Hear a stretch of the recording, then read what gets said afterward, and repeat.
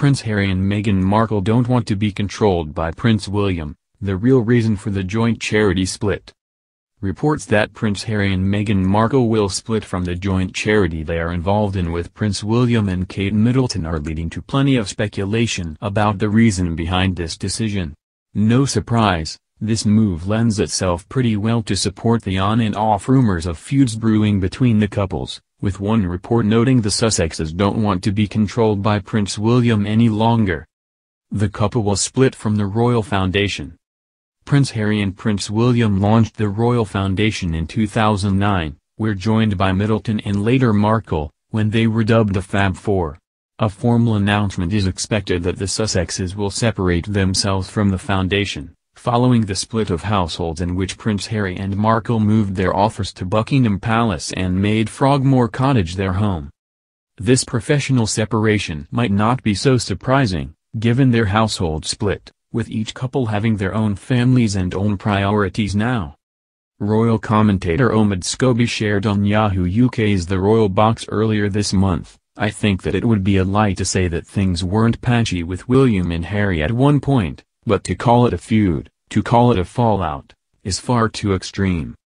Scobie added, I think the best thing that could have happened for them was to now be in their separate households, working separately, being able to come together for special family moments and social occasions. Is the split a sign of a rift? A Royal Foundation spokesperson released a statement, telling ET this week, we announced earlier this year that the Royal Foundation was reviewing its structures in order to best support their Royal Highnesses in their future roles and their new households. Any announcement regarding the outcome of this review will be made in due course. Commentator Duncan Larcombe told Yahoo's Royal Box that the split from the charity is definitely a sign that things aren't going so swimmingly for the four of them. He added, certainly, the fact they have their own media team, they are now living in a different place. There are a lot of signs that perhaps they are not the best of friends. A royal staffer shared with the Sunday Times that a split with the charity was definitely a sign of a rift, explaining, the foundation's the one to watch. If it doesn't hold together, that's a real sign there's a problem. Some of that fallout, a palace insider noted, is because William's quite controlling, and he was in control when it was just the three of them but now he's not. Larcombe shared, Meghan and Harry aren't going to be controlled by William. They are going to do it their way, and there is scope for them to do that. The Sussexes want to move in their own direction.